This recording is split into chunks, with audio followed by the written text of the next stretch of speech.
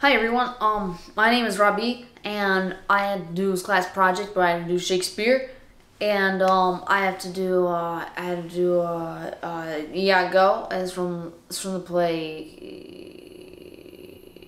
Othello, and uh, I hope it is, that's something that you like, and uh, here we go. Thus do I ever make my fool my purse. For I mine own gain knowledge would profane if I would time expend with such a snipe, but for my sport and profit. I hate the Moor. And it is thought abroad that twixt my sheets he's done my office. I know not if it be true, but I've a mere suspicion, and that kind will do as if for surety. He holds me well. The better shall my purpose work on him. Let me see now.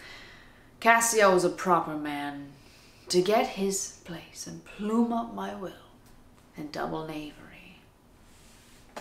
How? How? Let me see.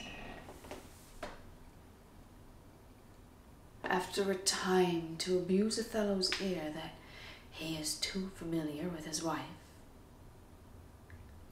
He hath a person and a smooth dispose to be suspected, framed to make woman false. The Moor as of a free and open nature, he thinks men honest that but seem to be so, and will as tenderly be led by the nose as asses are. I have it. Tis engendered. Hell and night must bring this monstrous birth to the world's light.